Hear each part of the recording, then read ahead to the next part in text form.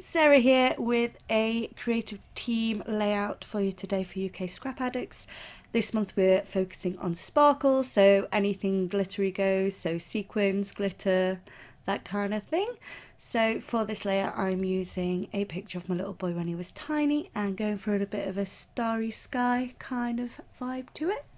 So to begin with I'm just going to grab this stencil, I have this heavy body gel um, by Prima and I'm going to spread that through this stencil. I don't want to use loads of mixed media on the background because the paper I'm using is absolutely stunning so it really doesn't need much but I just wanted to add some glitter, a little bit of texture so I do use a couple of stencils and I just spread this um, medium through it then I've gone into my glitter supply. I've got glass glitter which is thicker and then I've got these really fine glitters which I decided to use. So they were just really cheap off eBay.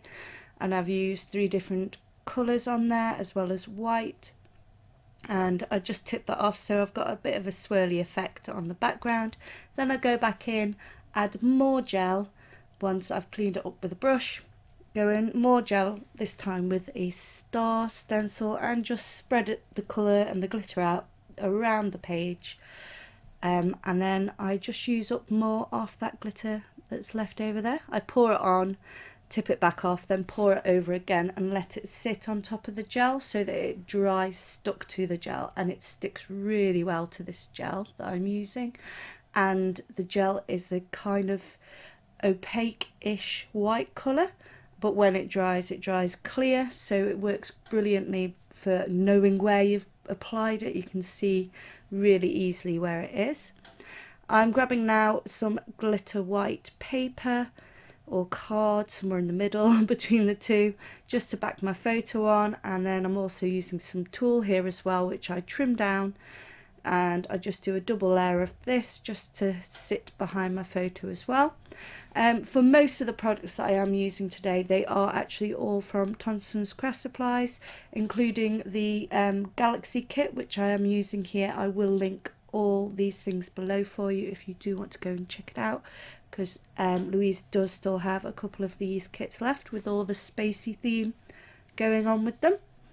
Um, now I'm just using some of this holographic paper, um, also from Thompson's Craft Supplies, and um, I think it's the box of crayons Chamel.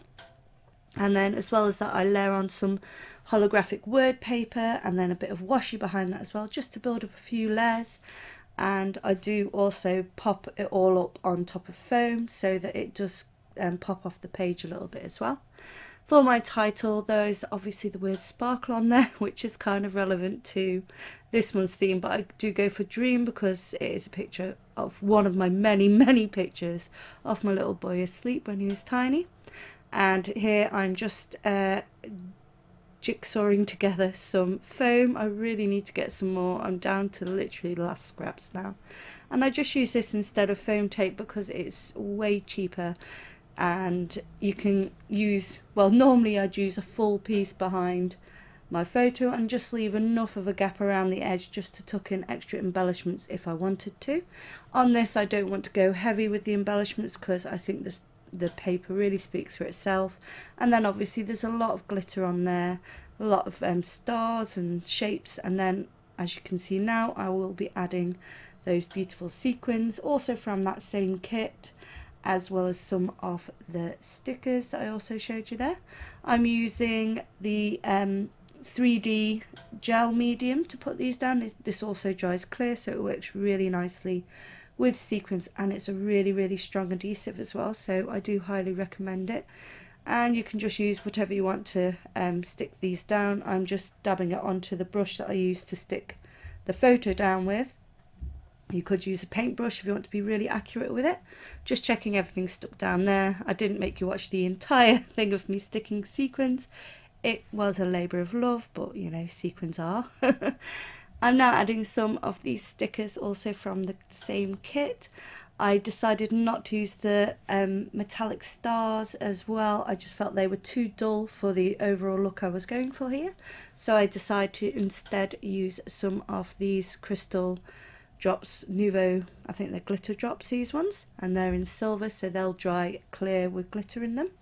And then I just finish off the whole thing with a few splashes of colour. I use some Heidi Swapp Colour Shine.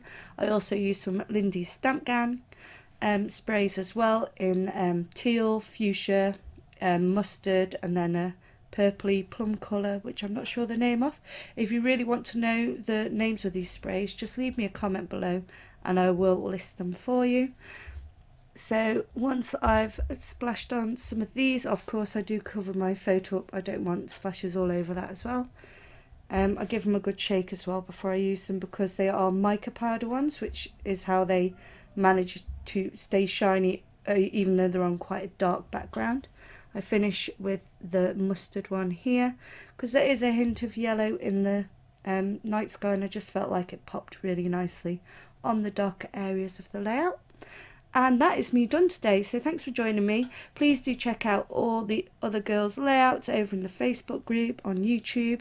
And if you haven't already and you want to subscribe to my personal channel, I will also link that below. And if you're on my personal channel, I will link UK Scrap Addicts too. So thanks for joining me. Stay tuned for close-ups. Bye!